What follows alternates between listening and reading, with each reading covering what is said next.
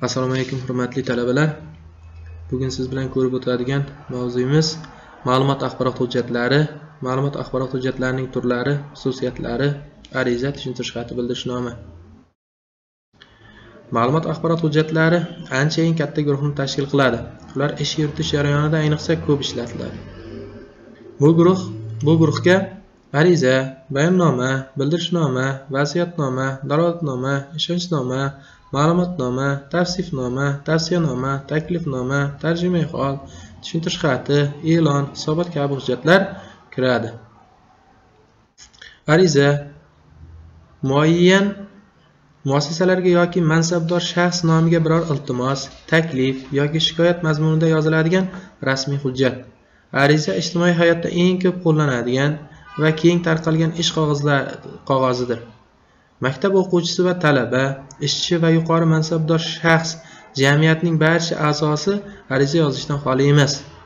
Ariza yozuvchilarning yoshi va ijtimoiy vazifasi turlicha ekan. Ariza yo'llanayotgan muassasalar va idoralar ham xilma xildir arizalar bog'cha mudirasiga maktab direktoriga oliy o'quv yurti rektoriga magazin mudiriga tuman shahar rahbariyatiga xullas oddiy arizachining taklif iltimos yoki shikoyatini ko'rib chiqib hal qila oladigan har qanday idora har qanday mansabdor shaxs nomiga yozilishi mumkin. Hajmi uslubi va turidan qat'iy nazar ariza o'zining umumiy zaruriy qismlariga ega va ana shu qismlarning izchilligi asosida tuziladi. Arizaning asosiy qismlari ariza yo'llangan muassasaning yoki mansabdor shaxsning nomi ariza yozuvchining turar joyi vazifasi lavozimi ismi otasining ismi va familiyasi hujjatning nomi hujjat matni taklif iltimos shikoyat arizaga ilova qilinadigan hujjatlar ro'yxati agar zarur deb topilsa.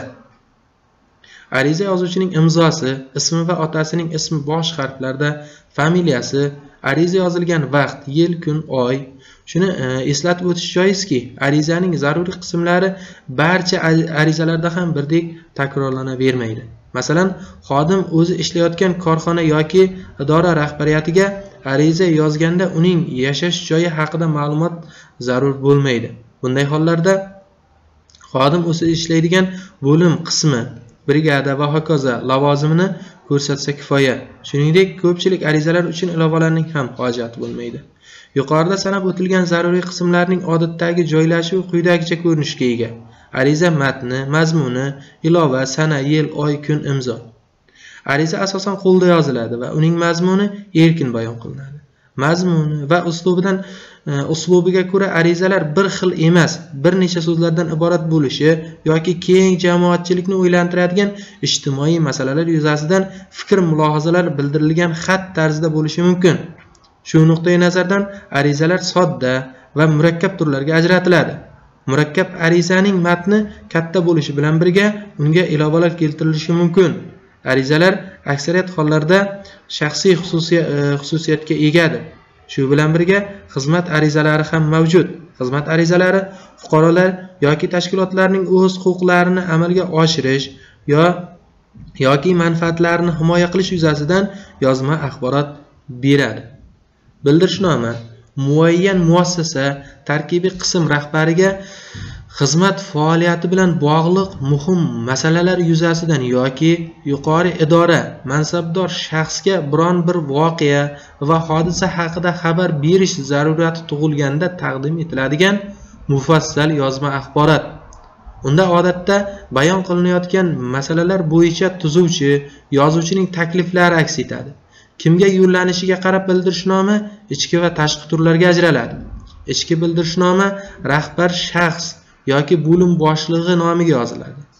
U toza qog'ozga qo'lda mashinkada yoki kompyuter yordamida yozilishi mumkin. Bunday bildirishnomalar muallif tomonidan imzolanadi.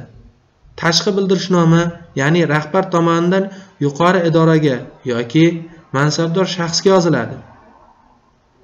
Odatda xos ish qog'oziga ikki nusxada yoziladi. Hujjatning ikkinchi nusxasi muassasaning o'zida qoldiriladi. Bunday bildirishnoma rahbar tomonidan imzolanadi. Bildirishnoma tashabbus axborot va hisobot xususiyatlariga ega. Bu xususiyatlar hujjat matni sarlavhasidayoq o'z aksini topadi. Tashabbus bildirishnomasi matnda tegishli masala yuzasidan umumiy yoki aniq takliflar ilgari surilib rahbarni ularni hal qilishga undaydi. Axborot bildirishnomasi odatda umumiy holat umumiy holat. Rahbarga ma'lum bo'lgan muayyan jarayonlar to'g'risida xabar beriladi. Hisobot bildirishnomasida esa ma'lum bir ishning tugallanganligi haqida yoki biror bir ko'rsatma tavsiya rejaning ijrosi to'g'risida rahbarni xabardor qilish qilishga qaratilgan hujjatlardan biri bir qismi hisoblanadi. Bildirishnomaning zaruriy qismlari bildirishnoma yo'llagan rahbar rahbarning lavozimi ismi va otasining ismi bosh harflarda hamda jo'nalish kelishigidagi familiyasi bildirishnomani tayyorlagan shaxsning lavozimi ismi va otasining ismi bosh harflarda hamda chiqish kelishigidagi familiyasi matn sarlavhasi hujjat turining nomi bildirishnomaning matni qancha Э, qancha va э, qancha varaqdan iborat ekanligi ko'rsatiladi. Bildirishnoma tayyorlovchi xodim yoki rahbarning imzosi qo'yiladi. Bildirishnoma taqdim etiladigan etilgan sana va e, oxiridan imzo qo'yiladi. Shuning uchun ham bildirishnomalarda chiqarilgan xulosalar tasdiqlovchi voqea hodisalarga qonunchilik ko'rsatmalariga tegishli hujjatlarning raqam va sanasiga hamda bayon etiladigan masalani bevosita muassasa misolida o'rganish yoki sinab ko'rish natijasi borligi boshqa dalillarga havola qilinishi zarur. Bildirishnoma yozilishiga sabab bo'lgan dalillar voqealar bayon qilinishi ikkinchi qismida esa xulosalar va aniq xatti harakatlar haqidagi takliflar aks ettirilishi zarur. Bizningcha bunday xatti harakatlar bayon qilingan voqealar munosabati bilan yuqori idora yoki mansabdor shaxs tomonidan amalga oshirilishi kerak. Agar bildirishnomada bayon qilinayotgan ma'lumotlar aniq bir sana yoki vaqt oralig'iga taalluqli bo'lsa xuddi ma'lumotnomadagidek ushbu vaqt matnda alohida zaruriy qism sifatida ajratilib matn oldidan joylashtiriladi. Masalan 1997 yil 1 yanvardagi holatga ko'ra yoki 1999 yilning 1 yanvardan sentyabrgacha bo'lgan davr uchun. Bu ma'lumot ma'lumotni matn sarlavhasiga qo'shib yuborish ham mumkin. Tushuntirish xati tushuntirish xati asosan xodim ishchi xizmatchi jamoa xo'jaligi a'zosi talaba tomonidan ba'zan e, ba'zi bo'linmalar rahbarlari tomonidan muassasa rahbari nomiga yoziladi.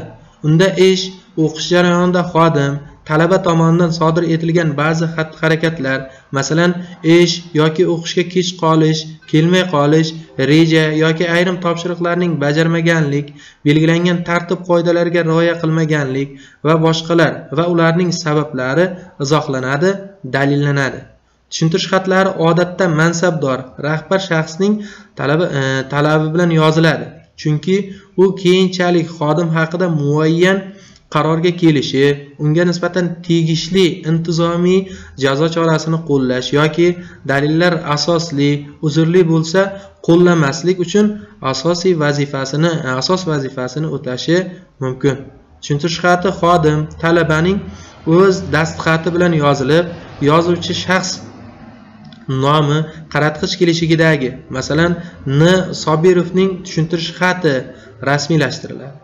Matn mazmuni aniq va ixcham tarzda tuziladi. Sana va, e, va dalillar aniq ko'rsatiladi. Yetarlicha izohlanadi qo'shimcha asoslov hujjatlar ilova beriladi. Umuman tushuntirish xati quyidagi zaruriy qismlardan iborat bo'ladi. Hujjat yo'llanayotgan tashkilot yoki mansabdor shaxsning to'liq nomi hujjatni tayyorlayotgan yozgan muassasa yoki shaxslarning to'liq nomi hujjat turining nomi tushuntirish xati hujjatning matni mazmuni imzo sana qo'yiladi.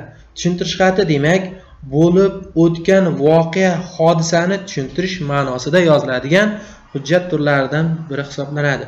O'zi o'z ustida bo'lib o'tgan voqea hodisa haqida yoki o'zi guvoh bo'lgan voqea hodisa haqida o'sha